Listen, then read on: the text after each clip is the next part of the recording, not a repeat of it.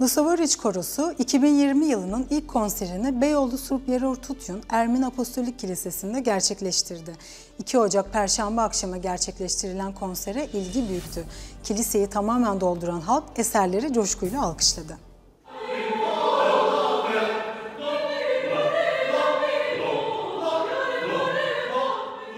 Lusavoriç Korosu 2020 yılının ilk konserini şefleri Hagop Mamigonyan yönetiminde ve piyanoda Robert Doğanay eşliğinde 2 Ocak Perşembe akşamı Beyoğlu Surp Yerortutyun Ermeni Apostolik Kilisesi'nde halk ezgilerinden oluşan bir repertuarla gerçekleştirdi.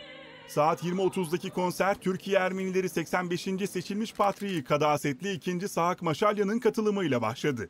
Kiliseyi tamamen dolduran halk konser boyunca hoş dakikalar yaşadı.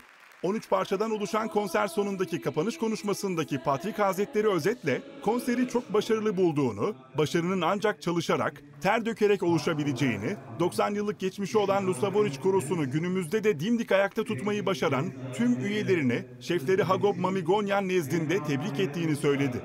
Rabbin duasının ardından koro ve kiliseyi dolduran halk tarafından eşlik edilmesiyle söylenmesinin ardından İngilizce söylenen bir Noel şarkısıyla konser son buldu.